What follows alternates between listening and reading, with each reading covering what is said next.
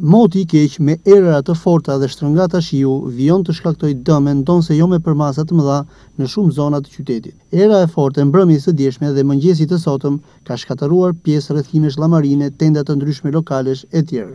Sikur të mos mjaftonin reshjet e rëna të shiut, Dallgët në një det të trazuar shpesh kalonin mbi muret pritës të shëtitores duke krijuar pellgje uji.